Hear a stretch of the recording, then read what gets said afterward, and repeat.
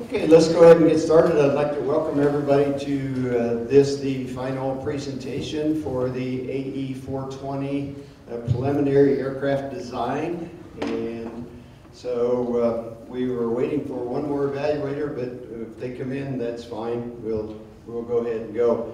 Uh, but the three groups that you have today, we're going to, uh, we have three different airplanes. We've got the northern airplane, which we'll see first, which is a Bush airplane uh, that's supposed to take things and people to northern locations and be able to land just anywhere. And we've got two fighter interceptor groups that you'll see uh, from there. And but before we get started, I'd like to have our panel uh, introduce themselves.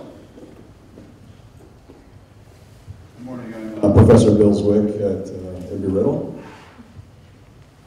Martin Martinez, ESA Corporation, small company out of Tempe, trying to stay up here in Prescott because this is a really cool place. I'm really honored to, to be here to evaluate uh, what you guys are doing. I think this is really great. My company specializes in product development. We're rather small, but we pretty much support everyone and anyone. Uh, you're talking Honeywell, Raytheon, you name it, we work on it. So, got a lot of experience. I throw a lot of rocks at you guys do. Don't take it personal. It's you know. But I'm looking forward to it. Thank you. These guys deflect rocks pretty well. Good. That's what we want to see. Okay, so uh, without anything further, we'll uh, let the group talk to you about this fantastic Bush airplane that they have developed. Good morning. My name is Chad Burge. I'm the design team lead for Northern Elements. Today we will be discussing the preliminary design of our Northern Utility aircraft named the NE-1 Frontier. Throughout the duration of this presentation, the screen above me will be referred to as the primary screen, and the screen to my side will be referred to as a secondary screen. This is Northern Elements NE-1 Frontier. The Frontier is a multi-surface amphibious flying boat. This means that the fuselage acts as a hull during water operations. Notice on the primary screen that the landing gear is retracting into the sponsons, which are airfoil shaped and provide stability and buoyancy on the water. Also notice that the engines are mounted above the wing. This provides adequate prop tip clearance when landing on unimproved surfaces as well as when floating on the water. Lastly, notice that the windshield is partitioned and the passenger windows are rounded. This is a result of the Frontier being a pressurized aircraft. I'd like to take a moment to introduce my team, which consists of Jared Johnson, Mark Van Bergen, Nick Kearney, Jayanth Bangalore, Sergio Perez, Blake Bradford, and Alexander Vladika. The secondary screen shows an overview of this presentation, showing we will start with the motivation for the Frontier, followed by a series of design decisions, and we will finish with conclusions and recommendations. Jared Johnson will now discuss the motivation behind the NE-1 Frontier. Thank you, Chad. I'm Jared Johnson, and I'm going to be discussing the motivation behind the design of Northern Elements NE-1 Frontier. There are 201 communities in Alaska that currently do not have direct access to medical facilities or regular resupply routes. 25 of these communities do not have runway.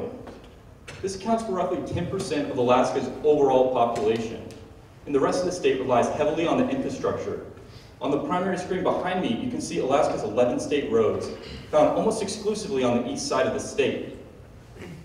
Less than 5% of these roads were deemed in very good condition by the Bureau of Transportation Statistics, while the rest have been deteriorated by year-round icing and flooding. The Frontier will be able to reach any one of these communities through the city of Anchorage, Alaska, when these roads fail. On the secondary screen, you can see some of the expected takeoff and landing conditions in these rural communities. Frontier will be able to take off from unimproved surfaces using its larger tires and oleo pneumatic struts. It'll be able to take off in ice conditions using its independent thrusting for steering, and in water operations using its unique flying boat hull design. These features separate the Northern Elements NE-1 Frontier from its competitors in the mid-size utility aircraft market. In a 2010 survey conducted between seaplane operators, the need for a mid-sized utility aircraft with our specific mission requirements becomes evidently clear. 42% of seaplane operators indicated a need for an occupancy of between 7 and 15 passengers. 29% of these operators indicated a need for a similar payroll capacity to our RFP requirement, and 20% of these operators indicated a need of a range between 650 and 850 nautical miles. On the primary screen, you can now see the Frontier's direct competitors. There's not a single aircraft in production that can meet our specific mission requirements. In fact, the Cessna Grand Caravan 208B needs to be retrofitted with floats in order to meet our operational capabilities. A cost of $50,000 in labor alone and an estimated completion time of two weeks. The Pilatus PC-6 Porter Amphibian cannot meet the necessary payload requirements or passenger requirements, and the Antilles G21 Super Goose cannot meet a single mentioned requirement on the screen. On the secondary screen, you can see some of the interior configurations of our Frontier. These configurations include a payload capacity of up to 3,000 pounds of either palleted or loose cargo, up to two litter patients and their accompanying medical personnel, or 12 passengers with stowage. On the primary screen, you can now see the Frontier in both its hard landing con takeoff condition and its water takeoff condition. From a hard surface, the Frontier will be able to take off in 4,000 feet and from a water surface in one nautical mile, clearing a 50-foot obstacle in both cases. On the secondary screen, you can see our mission profile. We will then begin our optimal climb rate of up to 2,000 feet per minute at sea level until we reach our cruising altitude of 18,000 feet and fly within our operational range of 800 nautical miles, or until the pilot begins his descent and landing maneuvers. At this time, if the airstrip is unusable or unable to land, the plane can perform a go-around maneuver in order to find a more suitable landing condition to complete the mission. Our design point was chosen relatively early in the design process in order to tailor the propulsion system and the airframe to meet our specific mission requirements while still retaining a 10% margin of safety from our most constraining factors. These factors were found to be the stall speed, the cruise speed, and the takeoff constraint. On the secondary screen, you can see some of the concluded numbers from this design point, most notably the minimum wing area of 426 square feet and the minimum power required of 1,465 horsepower. Mark Van Bergen will be talking about the 3 view and aircraft description. Thank you, Jared. My name is Mark Van Bergen, and I'll be going over the 3 view and aircraft description for the Northern Elements Frontier. On the primary screen above me, you'll see the 3 view for our aircraft. Our aircraft is a high-mounted monoplane with laterally mounted sponsons and a flying boat hull. You will see that we are a twin-engine design utilizing two high-mounted engines. The high-mounted engines allow us to get the propellers and the inlets out of the spray of water and debris during takeoff and landing. You'll also notice that we have a tricycle undercarriage that retracts laterally into our sponsons and forward into the nose. We spin two four-bladed 9.3 foot propellers, and we are a mid-size aircraft with a 61 foot wingspan, a 45 foot length, and a 20 foot height. On the secondary screen, you will see some major dimensions and parameters for the NE1 Frontier. I will now cover the aircraft interior and layout of our aircraft. The NE1 Frontier has a highly configurable interior that allows the customer to switch missions at a moment's notice. We utilize a rail system that all of our components snap into and out of. Our first configuration is the uh, passenger seating layout. This utilizes 12 foldable Aero Twin seats um, and can carry a max passengers of 12. Uh, these seats are lightweight, foldable, stowable, and they are FAR certified. You will see a detailed drawing of these on the secondary slide. Our second configuration is the medical transport configuration. The aircraft can utilize two Boucher litter beds, um, which are foldable, stowable, um, and easily configurable on the interior. We also have positions and supplies for up to two attending medical personnel. Uh, the aircraft is pressurized, which means that these attending medical personnel will not need to use oxygen masks as they are attending to our patients. On the secondary screen, you will see detailed pictures of the Boucher litter bed in both its installed and its stowed configuration. Our third configuration is the Frontier's cargo layout.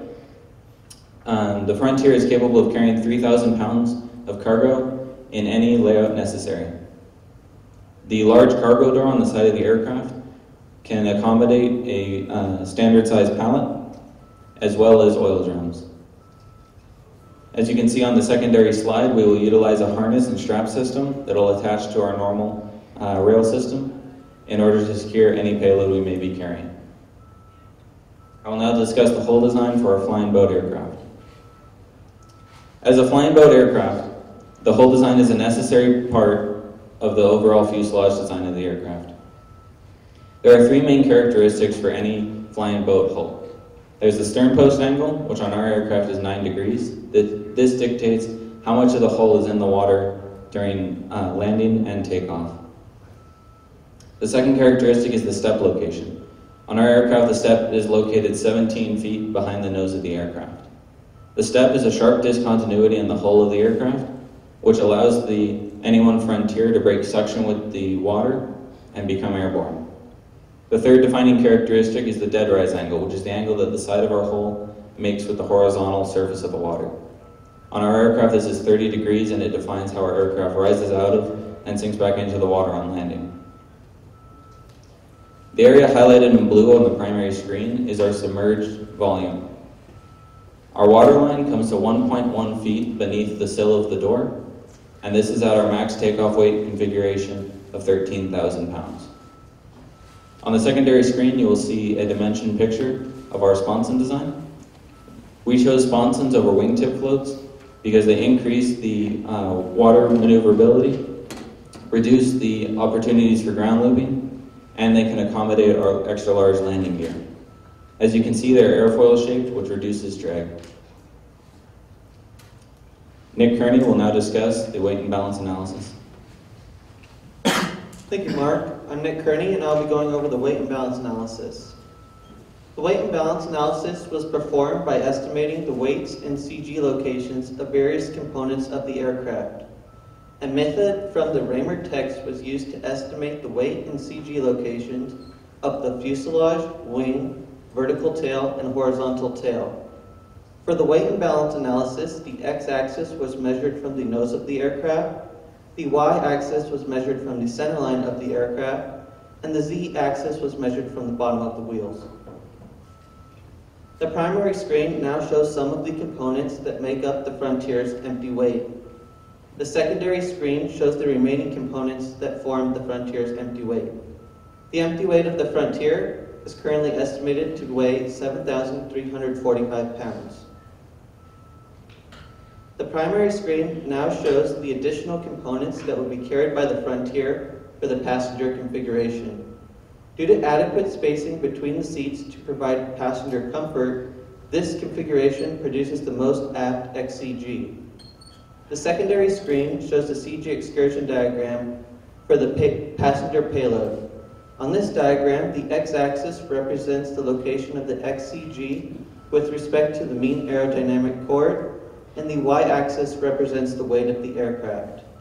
The location of the aerodynamic center of the aircraft has also been included on this plot to show that the Frontier has a positive 10.1 static margin when flying in the most aft XCG. The primary screen now shows the additional components that will be carried by the Frontier for the cargo configuration. The cargo configuration is expected to be the heaviest payload the Frontier will be capable of transporting and will have a takeoff weight of 13,117 pounds. The secondary screen shows the CG excursion diagram of the cargo configuration. The primary screen now shows the additional components that will be carried by the Frontier for the litter bed configuration. The litter beds were positioned in a staggered manner so that the YCG remains on the aircraft's centerline. The secondary screen shows the CG excursion diagram for the litter bed configuration. From the weight and balance analysis, we have determined that the furthest forward XCG is located 175 inches aft of the nose. We have also concluded that the aft XCG, the furthest XCG is located 192 inches from the nose of the aircraft. These positions can be seen on the secondary screen. I will now go over the empennage design of the Frontier. We have decided to go with the conventional layout for the empennage of the Frontier due to its simplicity and to minimize weight. The primary screen now shows the sizing of the horizontal tail. The horizontal, the horizontal tail has an area of 154 square feet, and the elevator makes up 51% of the mean geometric chord. The secondary screen shows how the lift produced by the horizontal tail changes due to a 20 degree elevator deflection. The primary screen now shows the sizing of the vertical tail. The vertical tail has an area of 54.9 square feet, and the rudder makes up 48% of the mean geometric chord. The secondary screen shows how the side force produced by the vertical tail changes due to a rudder deflection angle of 15 degrees. Next, Jayanth Bangalore will go over the wing design of the Frontier. Thank you, Nick. My name is Jayanth Bangalore, and I'll be going over the wing design of the Frontier. The versatile role of the Frontier requires an, F, an airfoil that produces high lift. Therefore, on the primary screen, you can see that we chose the NACA 23012 airfoil that produces a CL max of 1.79 and has a high stall angle of 18 degrees. On the secondary screen is the cross-sectional air, uh, area of the airfoil.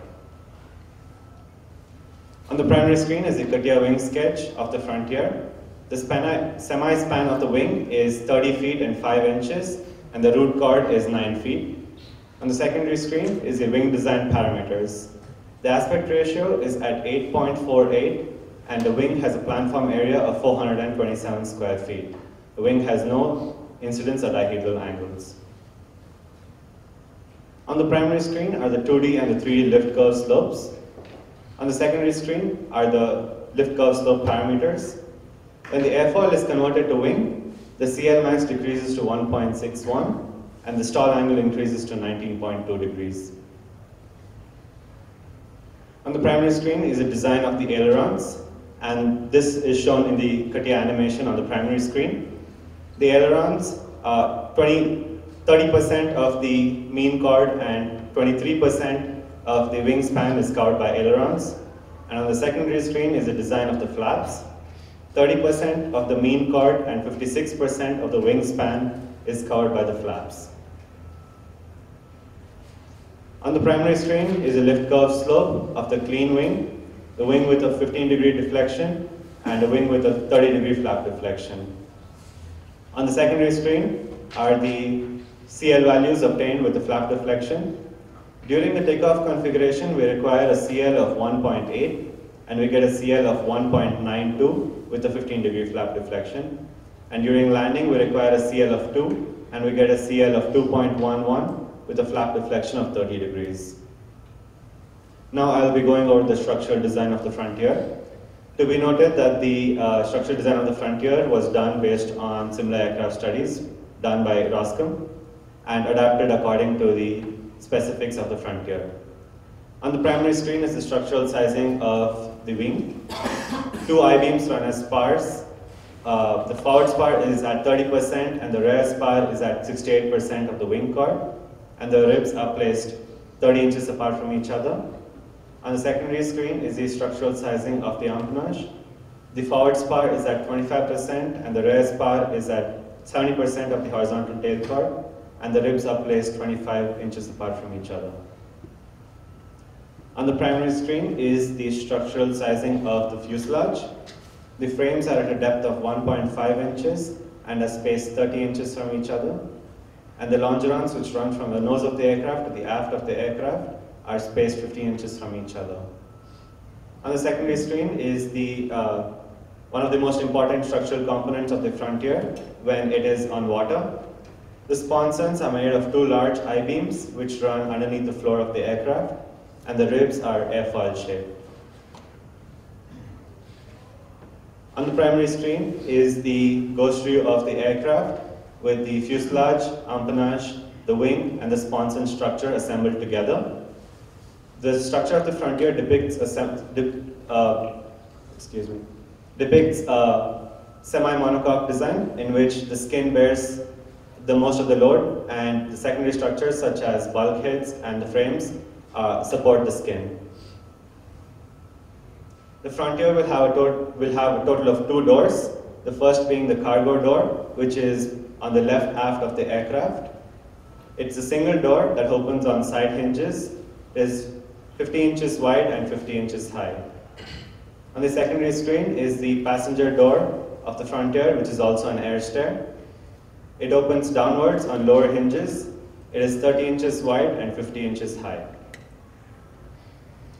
For the structure of the Frontier, we decided aluminum to be a desired material since it has a high strength to weight ratio and it is resistant to corrosion.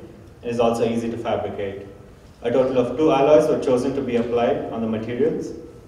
The aluminum 7075 T6 alloy, which has a high fracture toughness, was chosen to be applied on the skin. And the aluminum 7068 alloy, which has a high tensile strength, will be used on the spars, ribs, longerons, stringers, and high load bearing fittings. Now Sergio Perez will discuss the propulsion selection. Thank you, Jana. My name is Sergio Perez, and I'll be going over Northern Elements Propulsion Selection.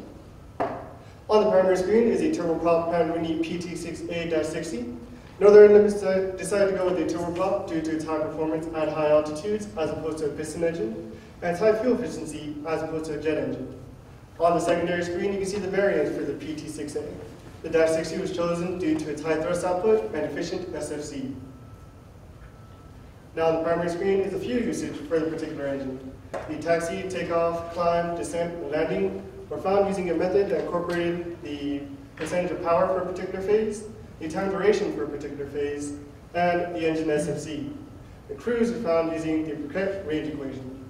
The highlighted values are the total fuel usage for a particular configuration, and um, with the cargo being the most due to being the heaviest. The secondary screen is the engine configuration. There we have a four-bladed variable pitch propeller. The four-blade is chosen due to its competitive climb rate as opposed to a three-blade. The variable pitch allows the pilot to adjust the angles of the propeller so that it sees the maximum amount of airflow, thus allowing the propeller to perform at its maximum efficiency. The engine will also operate using counter-rotating blades to account for the torque produced by both engines. It will also be feathering capable to allow for a reduction in drag in the event of an engine failure. The uh, reverse thrusting capabilities aid performance upon landing. Now shown on the primary screen is the power available plot. The values found for this plot were found using a method that incorporated a model from Dr. Manley for turboprop engines. The model incorporated a static thrust, altitude, and velocity. As shown on the plot, the power does decrease with altitude, but simultaneously increases with velocity. We do experience a power loss of 57% at a cruising altitude of 18,000 feet. Now I'll go over the drag polar analysis. Shown on the primary screen is the drag polar at sea level. This was found using the drag, the Raymer's drag load-up method. The pressure and induced drag were found using the lifting surfaces such as the wing, horizontal tail, and sponsons. The skin friction was found using the wetted surface areas seen on the secondary screen. Now we arrive to power available versus power power plots. The primary screen shows the the values found at sea level. Here, our maximum operating velocity is 224 knots, and with a subsequent PSLS of S, 2,050 feet per minute. On the secondary screen, you see the values for 18,000 feet, where our maximum operating velocity is 204 knots, with a subsequent PSLS of 400 feet per minute. Finally, we get to the constant specific excess power plots. The contours shown show the range from 2,000 feet per minute down to zero feet per minute, which defines our absolute ceiling of 21,570 feet. And our secondary screen shows our service ceiling of 20,650 feet. I would now like to introduce Blake Bradford for stability and control. Thank you, Sergio. My name is Blake Bradford, and I'll be going over the stability and control analysis. On the primary screen is the static margin X plot, where the stable region is to the right of the intersection of the aerodynamic center and center of gravity trend lines. The recommended value for this is 10%, where for our most aft CG configuration and a horizontal tail area of 154 square feet, the Frontier has a static margin of 10.1%. On the secondary screen is the CN beta X plot, where the stable region is above the black horizontal line. The recommended value for this is 0.001 per degree, where for a vertical tail area of 54.9 square feet, we have a CN beta of 0.0014. Now, one of the main criteria for stability control analysis is for the frontier to be statically stable. On the primary screen are the static stability derivatives for the frontier, as well as their known sign conventions. And by the values on the screen, the frontier meets those standards. Now, for the verification of the empennage performance, Northern Elements conducted an analysis in order to find the frontier's rotate velocity. On the primary screen or the forces and distances that create the rotating moment about the main landing gear. Uh, for a land takeoff, we have a rotate speed of 94 knots. And you can compare this to the stall speed on the secondary screen. Uh, Now, we will also rotate at an angle of 9.6 degrees, and this will prevent a tail strike during land operations and a submerged horizontal tail during water operations. For a water takeoff, the Frontier will rotate about its center of gravity, thus making this rotate velocity decrease. However, for a conservative value, we use 94 knots in all analyses. Now, since the Frontier is a twin-engine aircraft, Northern Elements conducted a minimum controlled velocity analysis for a one-engine out scenario. On the primary screen are the forces and distances that create the yaw moment due to the one-engine out scenario. Uh, the minimum control speed for an, a rudder deflection of 15 degrees, we have a minimum control speed of 69 knots. And you can compare this to the rotate and stall speeds on the secondary screen. Now, since the minimum control speeds below both the rotate and stall speeds, the pilot has directional control over the aircraft during all phases of flight. I will now cover the performance verification analysis. On the primary screen are the takeoff distances for the various surfaces the Frontier was designed for. Each hard surface takeoff distance was calculated using Raymer's ground roll equation, uh, various friction coefficients for each surface, as well as a 50-foot object at the end of the runway and a 15-degree flap deflection. For a water surface takeoff, we used Raymer's friction coefficient to assume hydrodynamic drag. The water surface takeoff is the longest distance at 3,140 feet. The RFP requires that the Frontier take off less than 4,000 feet on a hard surface and, six, and one nautical mile on a water surface. And the Frontier meets those criteria for each uh, takeoff condition.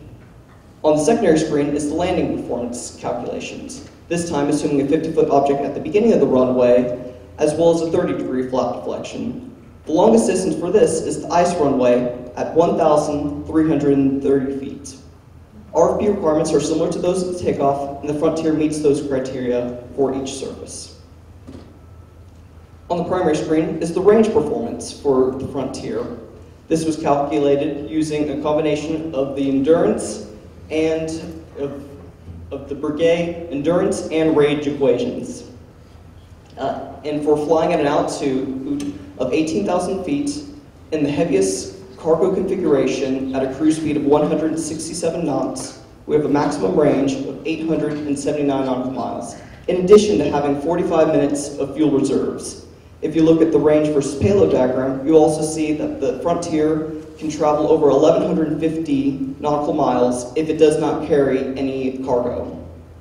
The RFP requires that the Frontier carry or travel 800 nautical miles, and FAR dictates a fuel reserve of 45 minutes, both of which the Frontier meets. On the secondary screen is the flight envelope, where the Q limit will extend out to 500 knots at an altitude of 18,000 feet, and the upper and lower G limits are defined by FAR 23 weight requirements. Up next will be Alexander Vladika, who will go over landing gear design. Thank you, Blake. My name is Alexander Vladika, and I'll be testing landing gear design choices and criteria. When looking at the primary screen, you can see a CATIA animation of the primary landing gear retracting into the sponsons laterally and the nose gear retracting into the hull forward. We chose a tricycle configuration for our landing gear because it, it resisted a nose-down pitching moment that is caused by the high mountain engines. Additionally, this type of configuration gave the pilot better, better ground visibility during ground operations. On the primary screen, you can now see the static load calculations for the main gear and nose gear. On the second secondary screen, you can see the selected uh, appropriate tire selections for the main and nose gear. For the main tire, we'll have a tire size of 32 by 11 inches, and for the nose, we'll have a uh, tire size of 24 by 11 inches. We selected an oleo-pneumatic sh- shock absorber for our, our landing gear because of its reliability and long-term operating life cycle. We used Raymer's technique to calculate the shock stroke diameter and shock stroke length as seen on the primary screen. For longitudinal tip over criteria, the recommended angle between the main gear and the most aft CG is to be greater than 15 degrees. On the primary screen, you can see that aircraft does satisfy this criteria by being at 17 degrees. On the secondary screen, you can see the lateral tip over criteria. This criteria helps prevent tip over during ground operations. The recommended angle is to be less than 62 degrees, and our aircraft satisfies this condition by being at 61 degrees. For longitudinal ground clearance, the recommended angle between the main gear and the tail of the wing, the tail, tail of the aircraft is to be greater than 15 degrees. This is to help prevent a tail strike during takeoff. Additionally, you can see that on the primary screen, the angle is from the wheel, so if a flat tire does occur during ground operations, we still meet this criteria. On the secondary screen, you can see that the lateral ground clearance. This angle is to help prevent the, uh, the tip of the wing hitting the ground during landings. The recommended angle is to be greater than 5 degrees, and our angle, and the, the angle for us is uh, 24 degrees. Additionally, the angle from the sponsons during uh, water operations it also meets the criteria by being at 12 degrees. Addition to landing on asphalt, the A1 Frontier, NE-1 Frontier will be capable of landing on ice, water, and unpaved surfaces. When landing on ice, NE-1 Frontier will use its reverse thrust capabilities in place of brakes and will have uh, independent throttle control and a- and native steering. During water landings, the NE-1 Frontier will land on its hull and it will have its sponsons will support the lateral stability of, of the aircraft. During unpaved surfaces, we'll have large tires with low PSI to enable the aircraft to overcome lar- to enable the aircraft to overcome rough terrains. And we'll have an pneumatic shock absorber to help in, help with the impact of the landing. Next, I will discuss the cost analysis of the NE-1 Frontier. On the primary screen, you can see some of the components we researched for the NE-1 Frontier. These components are such as research and development, manufacturing acquisition, and the operating cost. During operations, the aircraft will uh, be estimated uh, cost uh, is estimated to uh, be $801 per flight hour. On the primary screen, you can now see the operations cost, life cycle cost, and airplane estimated price. On the secondary screen, you can see our competitors' uh, listed prices.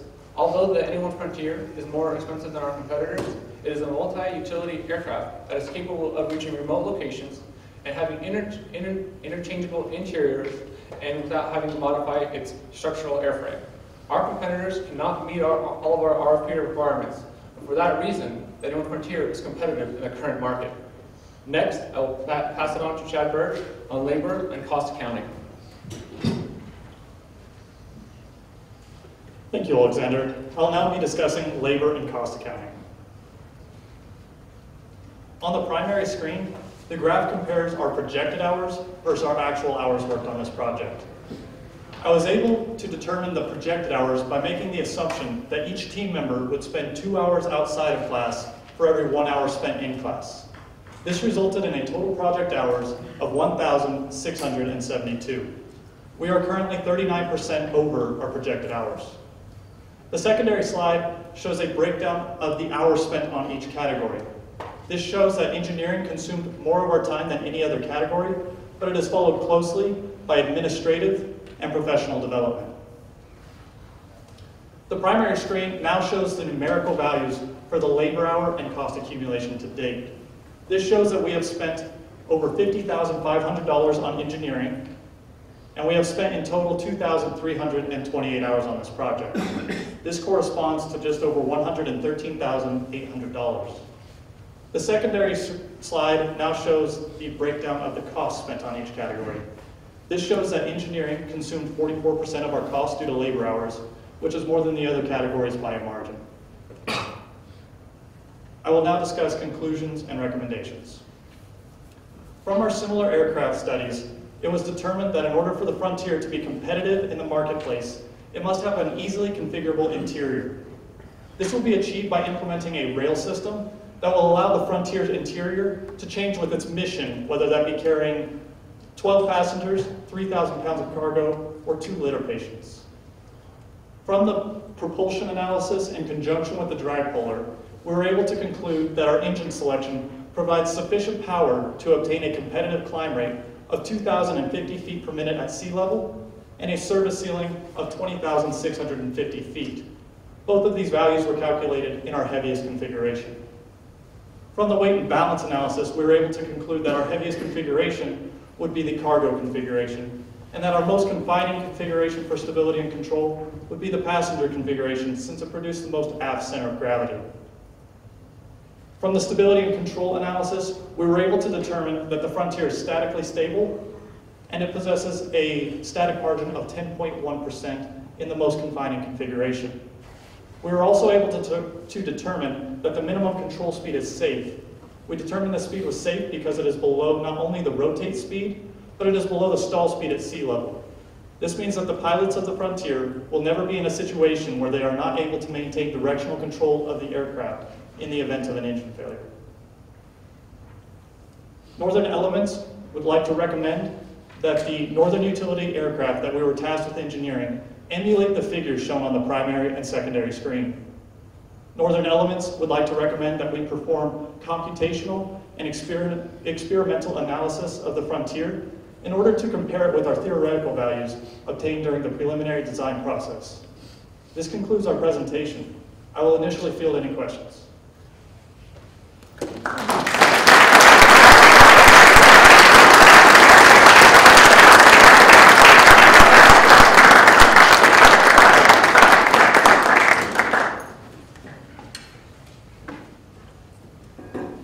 We'll now take questions from the panel. Okay.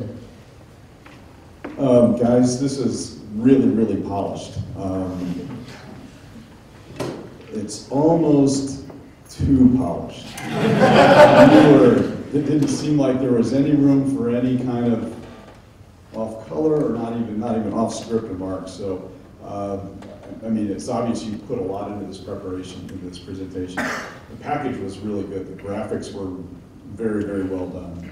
Um, I hope some of my class are in here. They're probably sleeping right now. But uh, anyway, you guys did a really good job on this. I do have some comments uh, that I'd like to share with you guys, good and, and areas for improvement. Um, Going from the back here, uh, the wrap-up was excellent. A very good conclusion and wrap-up summary of the technical performance and recommendations I thought was really, really well done. If you go back to slide 68A, I don't know if you guys have control of that, the cumin projected labor hours. Um, There's a deviation there, and um, wondering what you could tell me about that. First of all, root cause of that, and what would you do to fix it from here on out? Because if this program continues on, you'd have to kind of either come back online or adjust your forecast. Uh, So, and then also I'd like to see what your recommendations are if you had to do this over again and forecast this from the beginning. All right, thank you for that. We decided to take the approach that this was an academic experience, and we wanted to get the most out of that. So our team made the decision early on that we were going to put forth as much effort as we could into this project, and it became fun, and it wasn't as much work. So a lot of the members, I think, can attest to the fact that we enjoyed working on this project, and we were able to see results from our hard work. And so once that trend started, it continued. And so for an academic setting, I feel that this is a positive outcome. I don't feel that we jeopardized any of our other classes too bad. Uh, I, We did take breaks, as you can notice. We had a Thanksgiving break there where we decided to eat. Uh, So I would say, uh, to- if I had to do it again, I, I personally would not change a thing, and I, I think I can speak for the team in saying that. Those, those same slides, I'm curious, um, as a business owner, the stuff that you show here is pretty cool in that it says overhead. And that's usually what we try to control. On the slide was at 68B, you know, you, you'd estimated that administrative would have been, I mean, a huge chunk and had to be less. Can you kind of explain why you thought it would be so high and why it came in so low? How, can I explain how the, uh, so the. Your estimate, how did you come up with your estimate? So these were actual hours that we logged weekly, and they were compartmentalized. So this is the breakdown, this, the slide shown currently is the breakdown of the hours Okay, that spent. wasn't an estimate of initially, that's- that's how it really broke down. That's the hours, and then the second slide, uh, the, the following one shows the breakdown of the cost. Okay, So there are different, uh, labor hours, right. uh, for whether it be engineering, and that's why there's such a discontinuity here, why engineering consumes more cost even though, significantly more cost, even though it wasn't that significant. What, what took so much of the administrative? Uh, So we've, we've written uh, three reports at this point with our, our final report in front of you.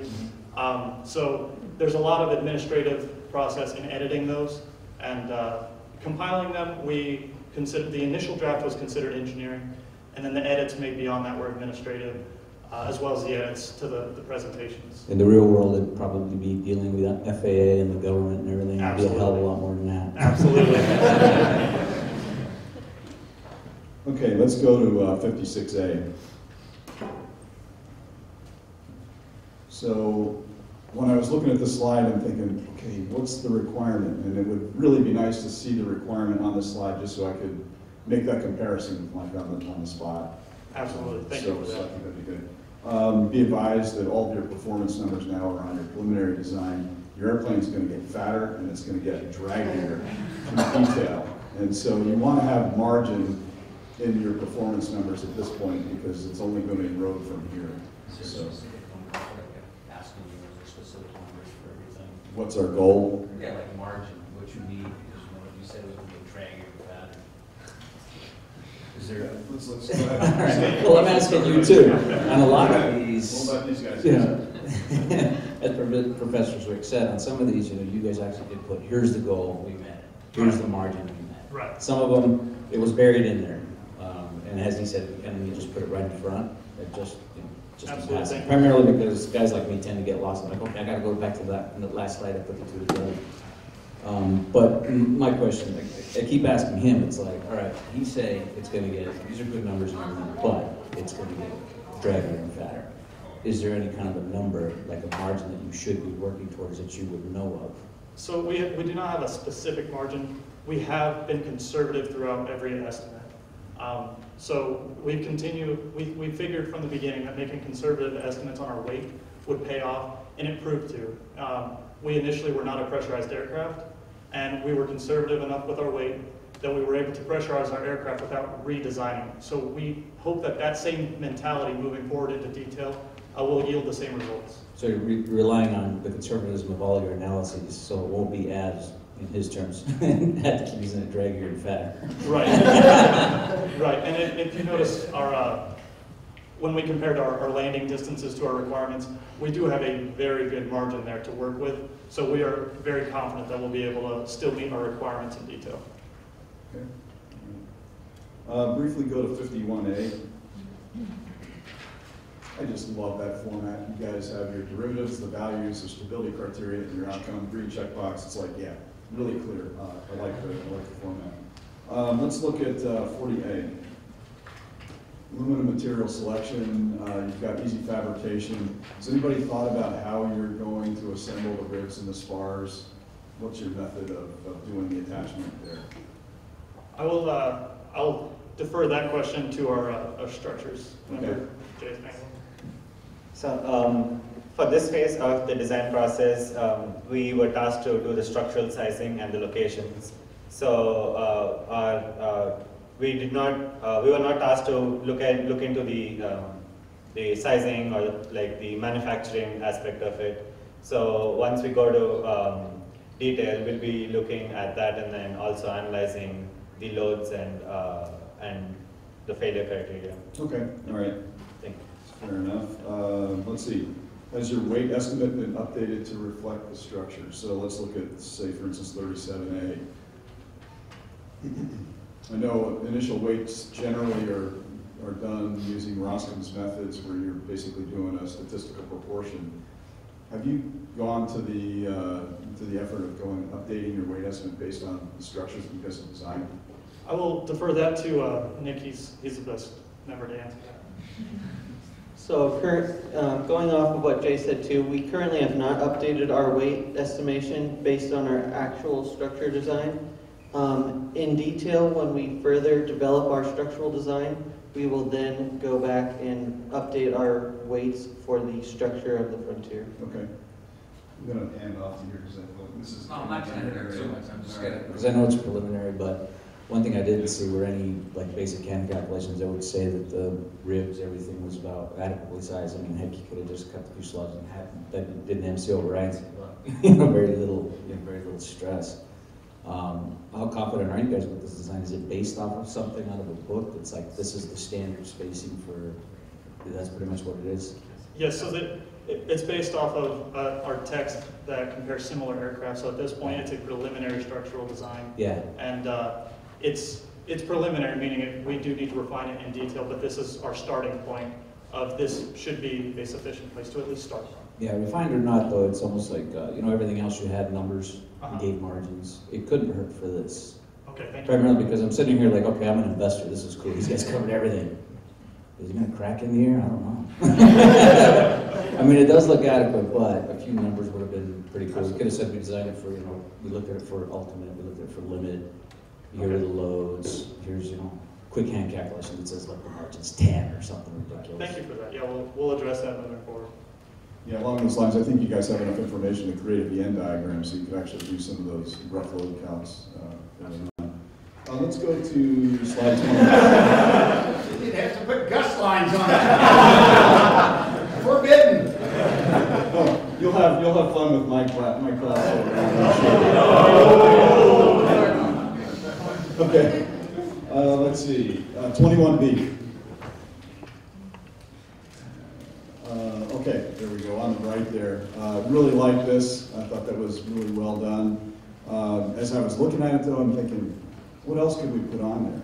And, uh, one of the things that kind of alluded to with one of Martine's comments was, what's a good range of margin? Uh, so that would be helpful there. And then also, where does the landing gear sit? Because, boy, landing gear tip over could be easy to show on this as well, uh, if you were to put landing gear on there. So those are two pieces of information, but really, I like the chart. I thought you guys put it together well, and it's really, really clear. God, I wish this- My class was really, some really good stuff. So, uh, let's see, look at uh, nineteen B. Uh, we're in a weight and balance section here. Weight and balance follows. Uh, it would be nice to show on that slide, you know, where your zero reference point was for the fuselage station, and then also where the CG is, and then basically the weight of the airplane could be Yeah, there. thank you for that, though. So, We'll address that moving Yeah, it's, all it's very basic stuff, you know, it's something you're gonna get whenever you do a report. So that the guy just doesn't have a question. It might seem repetitive to you, but it really comes in handy. And as Professor Zwick said, if you would have put just those things up there, it would have been- it, it is kind of clear, but it doesn't make the complete connection. Thank you for that. so let's see, uh, hull design on seventeen A. Uh, question came to mind there. Uh, How do you, how do you design a hull for water landing? Have you guys thought of any of the structural analysis that needs to be done for that? And how confident are you that this hull is gonna work for your application? So Mark Van Bergen is our hull expert. I'm going to defer this question to Mark. Kind of capable team here. Um, so we did do an analysis, of- or, I mean, not a full in-depth analysis, but we did strengthen the, uh, structure on the hull. Um, and as well, we also included bulkheads in the structure of the hull, um, in order to keep the, uh, compartments watertight.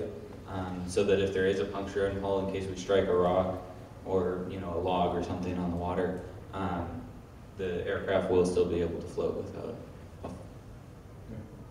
Is there an industry rule of thumb for that? You know, what, I, I don't know. I don't know. Industry rules of thumb for hull design for. I was, I was a Grumman Goose design and all that. I haven't seen it yet, or looked at it, so. Wow, okay. All right, let's see. Uh, Your passenger seating, uh, thirteen B's got a, got a picture of a seat. And I looked at that and I thought, well, it's probably meets your weight requirements, but is it really comfortable to sit in? How long, how long do I have to endure sitting on that seat? So we, we are a utility aircraft, and what we strive to do is be mission ready for our three different missions we mentioned of carrying 12 passengers, 3,000 pounds of cargo, cargo, or carrying two litter patients.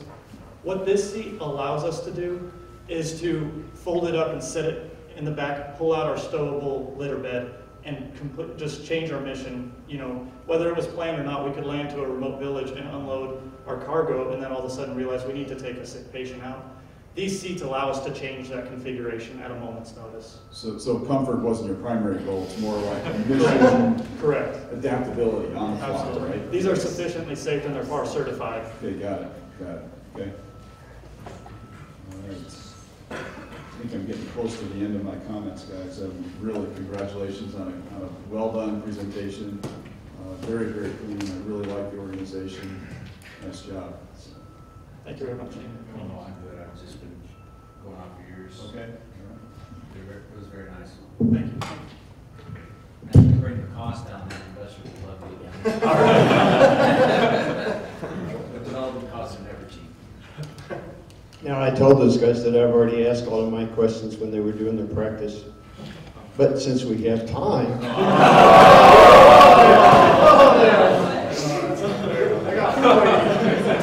Did we have a contract signed? Yeah, I, I think you missed that on your contract. Uh, We have just a second, if anybody has a burning question from the audience. You guys are great. Why is the, the door on the right?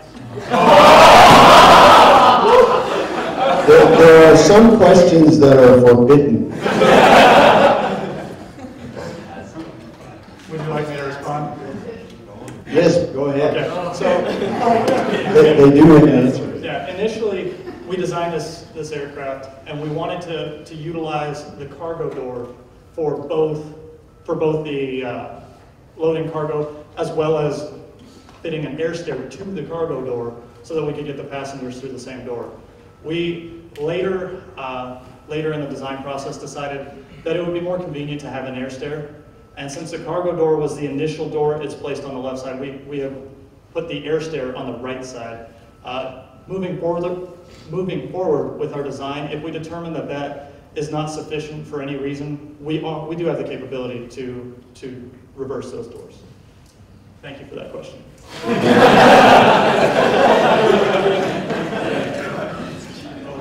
Since, I, I can yell loud, since your cost analysis showed that you were fairly expensive, do you, want- do you want to explain your, where, where that came from? I mean, I assume it's just a Raymer or a Roskam kind of. That's-.